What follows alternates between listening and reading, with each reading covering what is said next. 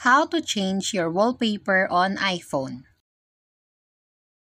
Here, for example, you can see the lock screen and then simply long press anywhere and you will see this. Swipe to the right and you can see add new wallpaper.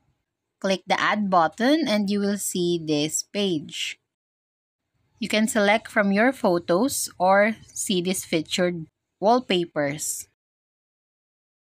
For now, let's try choosing from photos. Now, I will choose from my gallery, for example, this picture. And then, here is a preview of how it will look like later. You can crop it, zoom in, and zoom out or change how it will look like depending on your preferences.